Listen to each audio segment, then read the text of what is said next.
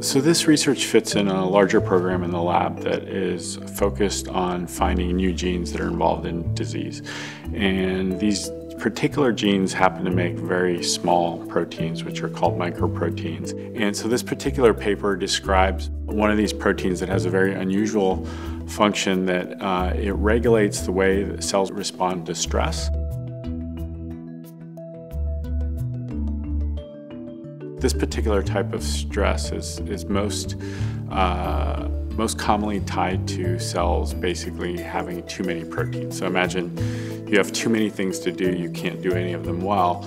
Well, when a cell is making a protein, it actually has to fold it into the right shape so that it's functional. And if it's actually making too many proteins and it can't fold any of them well enough, that becomes a problem because those proteins, when they're not functional, become toxic. And so this, this response is designed to do several things. One is to basically help augment the pathways that are necessary for helping things fold better. If it can't do that, uh, then basically it wants to send the cell down the path of, it's called programmed cell death, but basically for the cell to die because you don't want this stress to result in, you know, some sort of mutation or things like that that lead to other diseases. The cell's obviously not working properly, and so you want to get it out of the way. Pig boss, which I think is how it's supposed to be pronounced, although you know these things don't formally have real pronunciation, but I like to call it pig boss. I always imagine a pig wearing sunglasses. To understand what a protein is doing or what something is doing in the cell, it's really helpful to know where it is. Um, and to do that, the best way to do that is with imaging.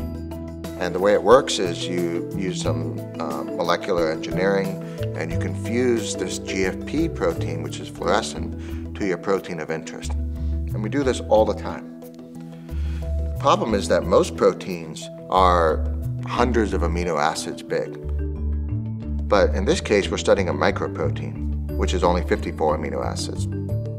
So here you've got this tiny little guy, and you're adding a giant 250 amino acid GFP to it, and that is very likely to disrupt its normal function. So what we did was we used a trick that has been recently developed, which is called split GFP.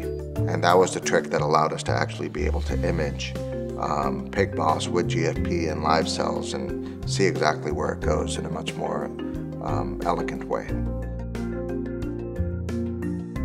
This is the first time we identified PIGBOS protein.